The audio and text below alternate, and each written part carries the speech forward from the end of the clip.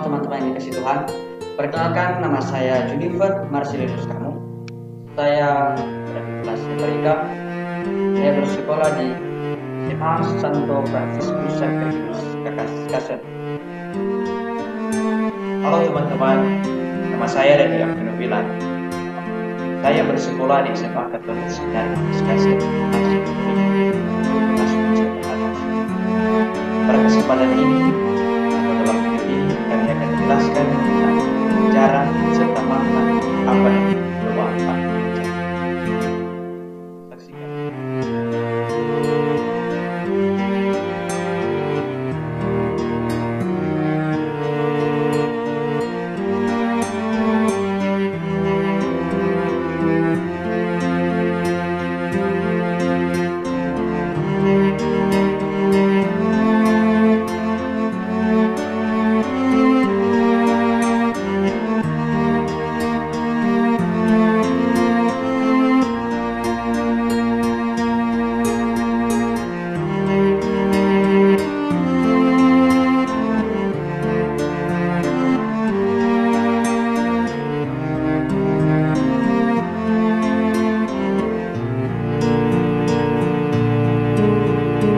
Halo sahabat Tuhan, pada kesempatan ini saya akan menjelaskan sejarah serta makna apa itu doa aku percaya atau biasa yang disebut credo dalam bahasa Latin.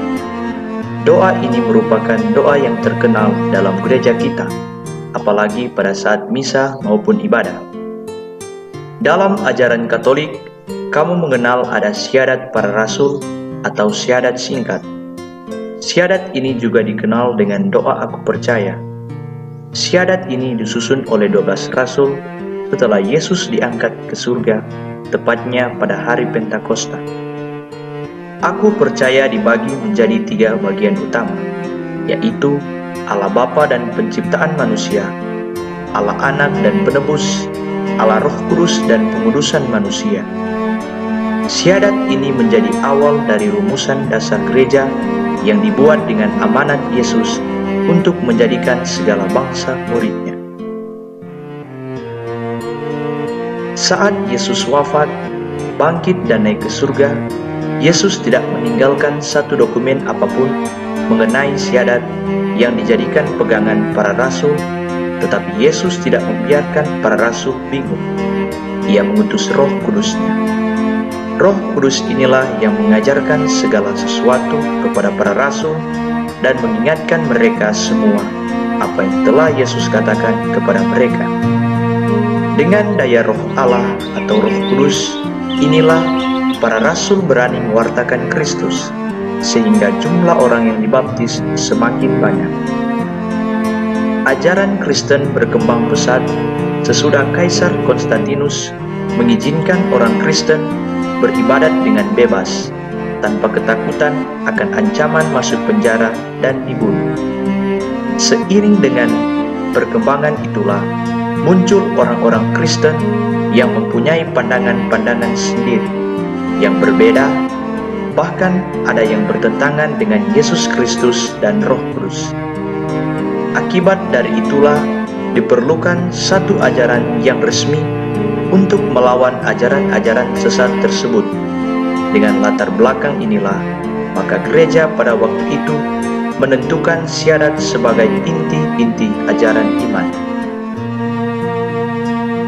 Dalam rumusan kredo terungkap inti iman Katolik, bahwa kita percaya pada Allah Bapa, Allah Putra, dan Allah Roh Kudus Tak terlupa kita pun percaya bahwa Allah menganugerahkan rahmat melalui gereja. Kita mengimani bahwa Allah sungguh-sungguh baik dan penuh perhatian kepada ciptaannya. Seluruh misinya semata-mata hanyalah demi keselamatan manusia. Hingga ia mengutus putranya yang tunggal sebagai pemenuhan janji keselamatan. Roh Kudus pun dianugerahkannya kepada para rasul dan gereja untuk menemani kita berziarah di dunia ini. Inilah inti kebenaran iman yang terdapat dalam rumusan syahadat aku percaya. Selanjutnya, mari kita lihat bersama-sama arti serta makna dari doa aku percaya.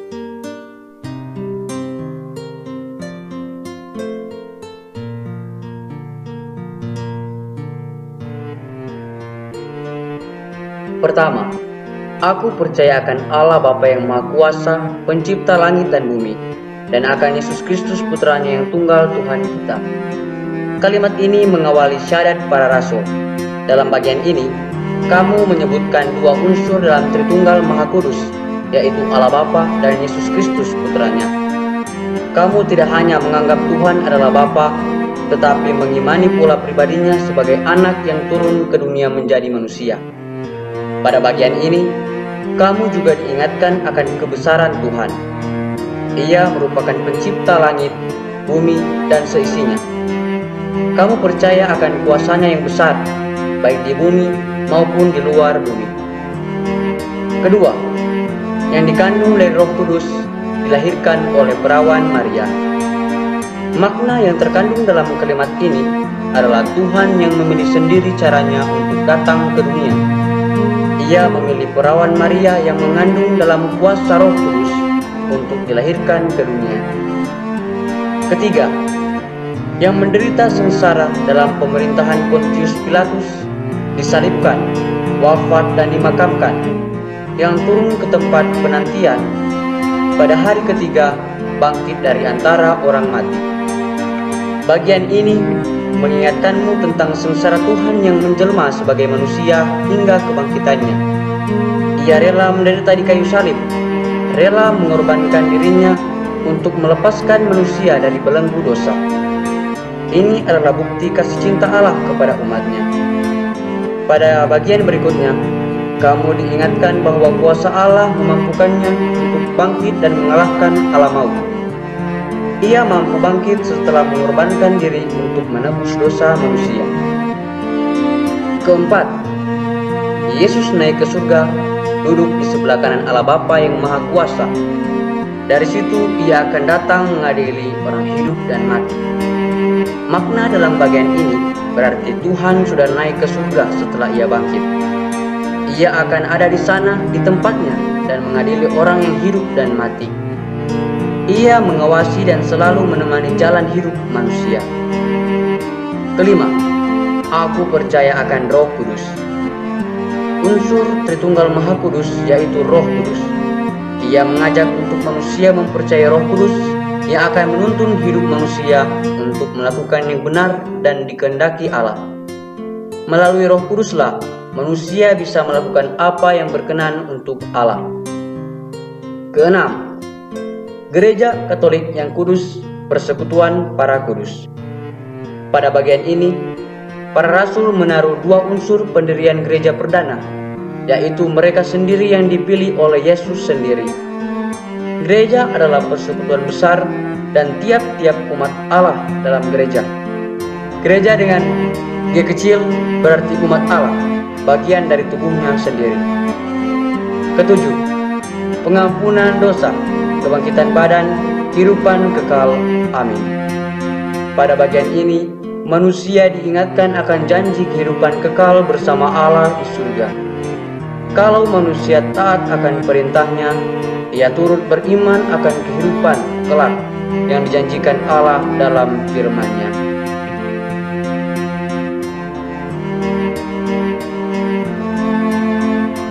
Marilah kita berdoa dalam nama Bapa dan Putra dan Roh Kudus. Amin.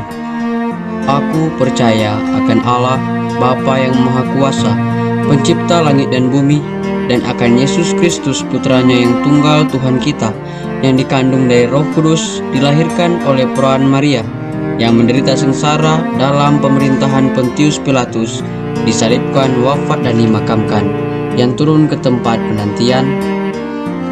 Pada hari ketiga, bangkit dari antara orang mati, yang naik ke surga, duduk di sebelah kanan Allah Bapa yang Maha Kuasa. Dari situ ia akan datang mengadili orang yang hidup dan yang mati.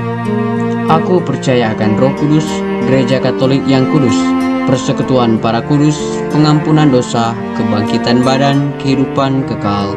Amin.